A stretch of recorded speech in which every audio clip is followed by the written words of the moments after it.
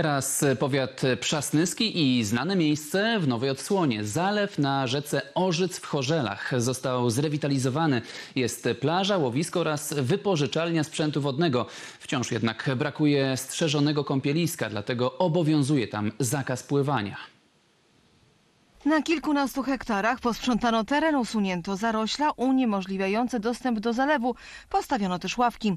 Uporządkowano znajdującą się na zalewie wyspę. Wyspa ma za zadanie stanowienia takiego zacienienia i ostoi dla ryb. Wyprofilowaliśmy oskarpowanie, e, przywróciliśmy drogi dojazdowe. My tu często przychodzimy i naprawdę jest teraz fajnie. Plaża jest fajna. I rodziny będą przychodzić i ogólnie więcej ludzi na pewno. Trzeba trochę rekreacji, bo tak to gdzie każdy miał się podziać, prawda? Jest wspaniały ten zalew zrobiony teraz, dobrze taki wy- wystrzyżony można być i teraz tu kajaki. Przasnyskie starostwo przeznaczyło na uporządkowanie zalewu 60 tysięcy złotych. Na razie jest zakaz kąpieli, ale w przyszłości ma tu powstać strzeżone kąpielisko. Teraz można wypożyczać kajaki i rowery wodne. Powstała też plaża. Zależy nam, by, by rodziny w tym wolnym czasie, w tym wakacyjnym czasie, ale też w weekendy e, cieplejsze miały takie miejsce e, do wypoczynku, by nie trzeba było jechać daleko gdzieś na Mazury czy nad morze.